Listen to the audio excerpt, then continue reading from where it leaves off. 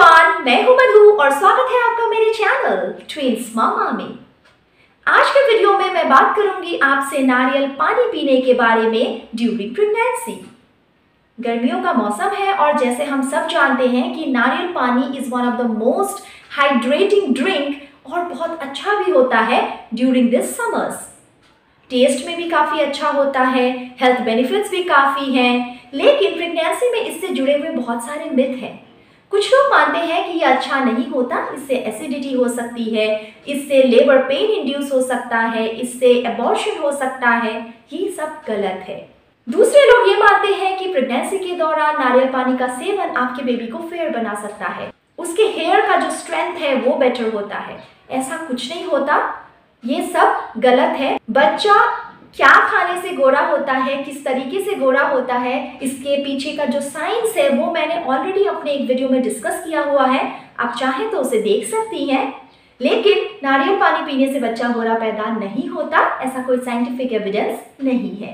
नारियल पानी एक बहुत ही हेल्दी और रिफ्रेशिंग और टेस्टी ड्रिंक है, और नारियल पानी प्रेगनेंसी में आपको पीना चाहिए, इसके बहुत सारे हेल्थ बेनिफिट्स भी हैं। नारियल पानी में 95 परसेंट पानी ही होता है और बाकी 5 परसेंट इलेक्ट्रोलाइट्स तो खुद को हाइड्रेट रखने के लिए गर्भावस्था के दौरान ये एक बहुत अच्छा ऑप्शन है।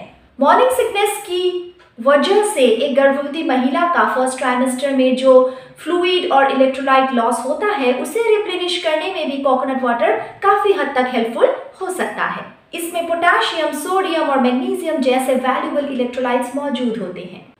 प्रेगनेंसी के थर्ड ट्राइमेस्टर में जो गैस्ट्रो इसोफीजियल रिफ्लैक्स होता है, बहुत सारे पर्सनल इंटरव्यूज़ में महिलाओं ने ये माना है कि कोकोनट वाटर उस रिफ्लक्स को सूद करता है। हालाँकि साइंटिफिक एविडेंस बहुत ज़्यादा इस बारे में नहीं है। कोकोनट वाटर में प्रॉपर फीटल डेवलपमेंट के लिए रिक्वायर्ड जो न्यूट्रिएंट्स होते हैं, उसमें से भी काफ़ी कुछ मौजूद होता है। तो ये भी एक कारण आप मान सकते हैं कोकोनट वाटर के हक में।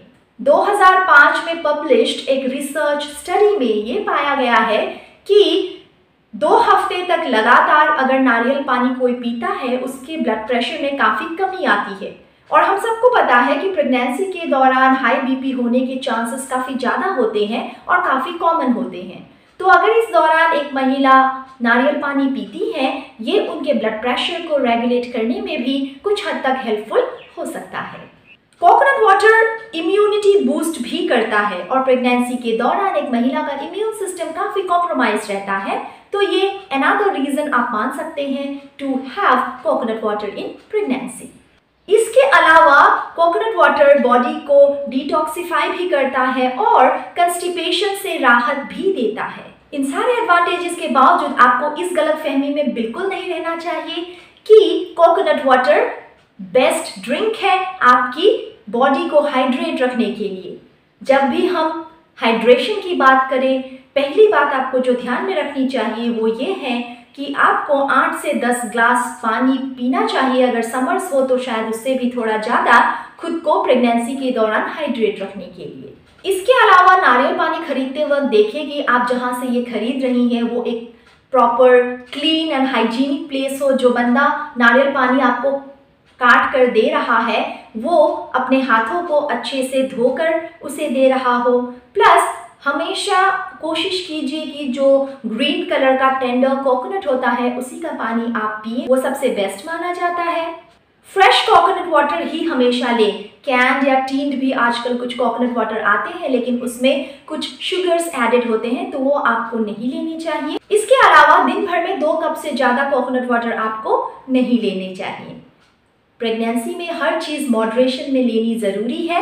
मैंने आपको अपने वाटरमेलन रिलेटेड वीडियो में भी ये बात कही थी कि अच्छा हो सकता है एक फ्रूट या एक सब्सटेंस लेकिन प्रेगनेंसी के दौरान ज़रूरी है कि आप उसे एक लिमिटेड क्वांटिटी में ही लें।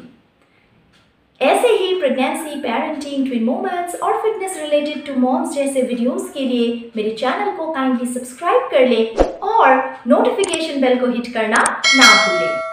इससे आपको मेरे नए वीडियोस की जानकारी जल्द ही मिल जाएगी। Thank you so much for watching my video see you soon till take care